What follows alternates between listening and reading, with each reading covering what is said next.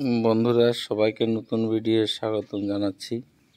অনেক দিন পরে ভিডিও দিচ্ছি। দু তিন মাস ধরে ভিডিও দেওয়া হয়নি। তো বন্ধুরা, দেখতে পাচ্ছেন গাছের অবস্থা খুবই খারাপ।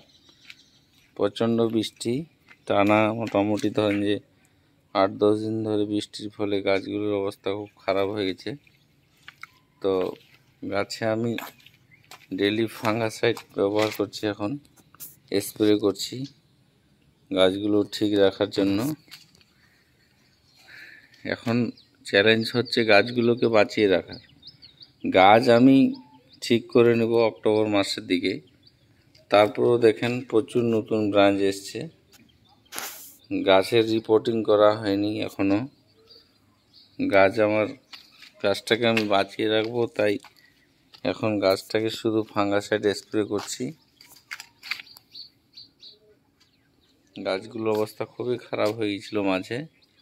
তো অনেকটা গাছ আবার মোটামুটি যত্নর ফলে অনেকটা গাছের অবস্থা ভালো হয়েছে। এই যে দেখতে পাচ্ছেন, অনেক ব্রাঞ্চ, নতুন ব্রাঞ্চ এসছে। গাছগুলোকে রিপোর্টিং করতে হবে কাটিং করতে হবে। তো এই সময় আমি রিপোর্টিং করব না, যেহেতু এখন আগস্ট মাস। আগস্ট মাসে রিপোর্টিং করার ব্যাপার নাই। আগস্ট মাসে আপনার গাছগুলোকে বাঁচিয়ে রাখা বর্ষার জল থেকে। কুড়ি প্রচুর কুড়ি এসছে, কুড়িগুলো আমি ভেঙে দিচ্ছি, কারণ এখন ফুল নেওয়া যাবে না আর ফুলের কোয়ালিটিও ভালো না। গাছগুলো প্রচণ্ড বড় হয়ে গেছে। খাওয়ার ঠিকঠাক চলছে গাছে এখন। দেখতে পাচ্ছেন গাছের অবস্থা কত খারাপ। অতিরিক্ত বৃষ্টির ফলে তো মনে হচ্ছিল যে মরে যাবে গাছগুলো, বাঁচানো সম্ভব না। তো যাই গাছগুলো স্বাভাবিক হয়ে গেছে আবার। তো বন্ধুরা দেখতে পাচ্ছেন, গাছ দেখে খুব একটা পছন্দ হবে না এখন। এই গাছে আপনাকে আমি আবার ছবি দিব, এক মাস পরে দেখবেন গাছের ফিগার কি হয়েছে। এই যে কুড়িগুলো এখন ভেঙে দেওয়াটাই মেন কাজ। কুড়ি রাখাই যাবে না গাছে এখন। ক্ষতি গাছের জন্য চরম, কুড়ি একটা গাছের খাদ্য টানে ভালো। নতুন কুড়িও এসছে, নতুন ব্রাঞ্চও এসছে। তো যাই হোক ছোটো গাছের ব্রাঞ্চ আমি কাটবো না, যেহেতু এই গাছে শুধু রিপোর্টিং হবে। কাটার মতো কাটিং করার মতো এখনও গাছগুলো হয়নি। ভালো লাগছে এটাই যে বর্ষার, প্রচণ্ড বর্ষার ফলেও যে গাছগুলো আমার এত সতেজ হয়ে উঠছে আবার আগের ফিগারে খুব ভালো লাগছে। মাঝে ভেবেছিলাম গাছগুলোকে আর বাঁচানো যাবে না, তো যত্ন করলে সবটাই সম্ভব। তো আমি কি করতাম, প্রচণ্ড যখন বৃষ্টি বৃষ্টি হচ্ছিল, তো আমি পটগুলোকে এই টাইপে করে দিচ্ছিলাম। পটগুলো হালা থাকছিল। যাতে বৃষ্টিটা হলেও টবের মধ্যে না জমে। ড্রেনিং সিস্টেমটা যতই ভালো থাক, আপনার প্রচণ্ড যখন বৃষ্টি হবে, তখন করণীয় হচ্ছে পটগুলোকে হালিয়ে দেওয়া। তো গাছগুলোর অবস্থা যদিও এখন দেখতে ভালো লাগে না, কিন্তু এক মাস পরে দেখবেন গাছের অবস্থা কি চেঞ্জ এটাতে একদম পুরোটাই নতুন ব্রাঞ্চ এ জায়গা বর্ষার জলে এমন অবস্থা হয়েছিল, আমি ভাবলাম গাছটা মরে গেল। সম্ভব হলো না, টিকাতে পারব না।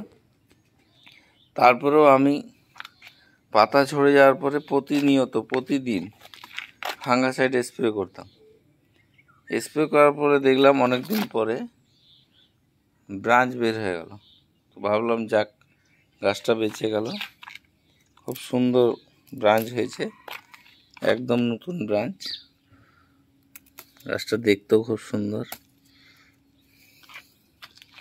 এটাও মরে যাওয়ার অবস্থা ছিল, নতুন ব্রাঞ্চ, একদম নতুন, খুব সুন্দর। দেখতে পাচ্ছেন গাছটা। তো গোলাপের কোনো চিন্তা নাই, শুধু তিনটা মাস গোলাপের জন্য চাপ।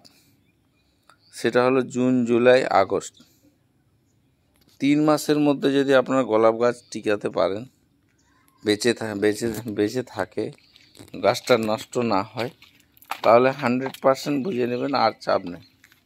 এই যে এখন তো হালকা শীতের আবহাওয়া চলে আসবে, অক্টোবর মোটামুটি শীত পড়তে ধরবে আপনার অক্টোবর থেকে হালকা করে, তো গোলাপের তখন তো অটোমেটিক চেহারা চেঞ্জ হয়ে যাবে। হ্যাঁ তার মধ্যে কি? আপনার খাবারটা বন্ধ রাখা যাবে না।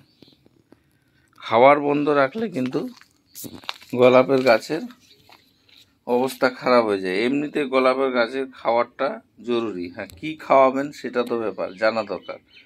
গোলাপের তেমন কিছু খাওয়ার লাগে না। মেন যেটা মাটির গোলাপ, আমি যেহেতু মাটির গোলাপ করি মেন হলো খোল পচা জলটা, পাতলা করে যত পাতল করে দিতে পারবেন তত ভালো। মনে করবেন যে একবারে মোটা করে একটু দিব, গাঢ় করে, তাহলে ভালো হবে। কিন্তু না, রেজাল্ট খারাপ হবে, গাছটাকে বাঁচানো যাবে না। পাতলা খোল জল।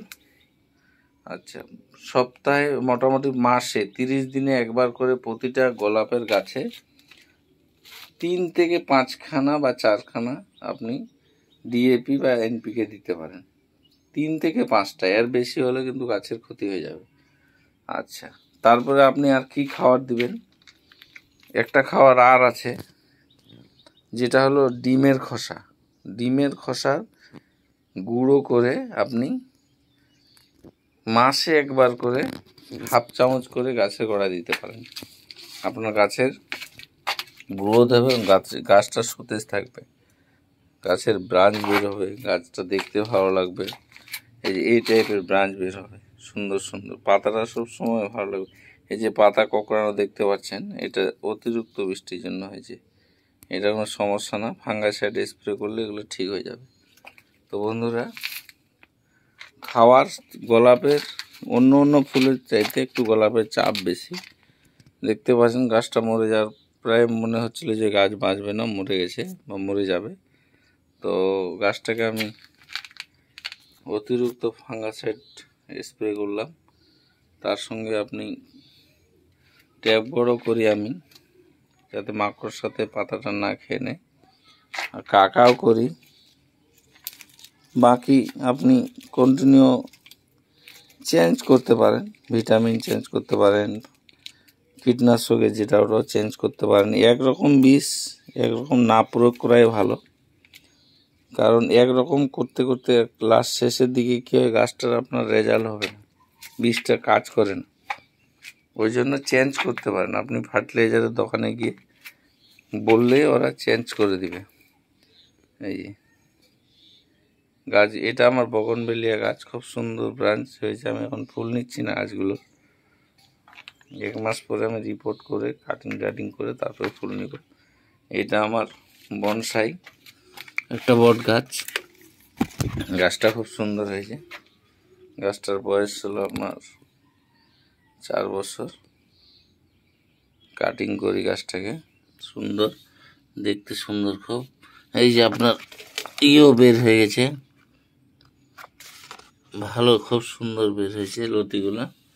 তো বন্ধুরা, আমি আজকে গোলাপ নিয়ে আলোচনা করছিলাম। তো গোলাপের আপনারা যত পারেন, এখন বর্ষাতে ফাঙ্গাসেরটা বেশি ব্যবহার করবেন। খাওয়ার হালকা দিবেন, আর মাটিটাকে যেটা বলাই হয়নি, সেটা হলো আপনারা মাটিটাকে, গোলাপের যেটা মাটি হয়, গোড়াটাকে আপনারা খুঁচিয়ে দিবেন। কীভাবে দিবেন তা দেখাচ্ছি। গ্যাস হয়ে যায় অতিরিক্ত জলের ফলে, এই যে। দেখতে পাচ্ছেন? এই যে। এইভাবে সপ্তাহে তিন, চারবার করে জলটাকে মাটিটাকে খুঁচিয়ে দিবেন। এর ফলে আপনার গাছটা গোড়াতে যেটা আমরা শিকড় বলি, মূল বলি, মূলটাতে আপনার ক্ষতি হবে না। পচন আসার ফলে আপনার গাছটা নষ্ট হয়ে যায় অতিরিক্ত জলে। এটা আপনারা প্রতিনিয়ত করতে থাকবেন। তো বন্ধুরা, গোলাপ সম্পর্কে তো বললাম। এই একটা দুটো মাস কষ্ট করে নেন, তারপরে রেজাল্ট হয়ে যাবে। চাপ নাই। আর আপনাকে, আপনাদেরকে আমি এক মাস পরে নতুন এই গোলাপগুলোর ভিডিও দিব। আর এগুলো তো আমার পুরাতন গাছ। গাছ তো মোটা মোটা হয়ে আছে। বড় বড় গাছ, এগুলো আমার তিন বছর, চার বছর, পাঁচ বছরেরও গাছ আছে। তো তারপরে আপনারা দেখতে পাবেন আমার দু মাস পরে যে গাছটা আমি দিব। ভাববেন যে নতুন গাছ দিয়েছে না ওই পুরাতন গাছগুলো? যেমন এই গাছটা বন্ধুরা দেখতে পাচ্ছেন, খুবই খারাপ অবস্থায় ফুল খুব সুন্দর। তো আমি চিন্তাই করি না, দেখে খারাপ লাগছে। কিন্তু যখন এটা এটা আমার খুব পুরাতন গাছ, এর বয়স হলো তিন, চার বছর। যখন আমি আবার নতুন করে দিব, দেখতে পাবেন যে গাছটার চেহারা ফিগার কি হয়েছে। তো ঠিক আছে বন্ধু আজকে আজকে এ পর্যন্তই। আবার নতুন ভিডিও দিব অবশ্যই। আপনারা দেখতে থাকবেন হ্যাঁ নতুন ভিডিওর সঙ্গে আমার চ্যানেলের সঙ্গে থাকেন।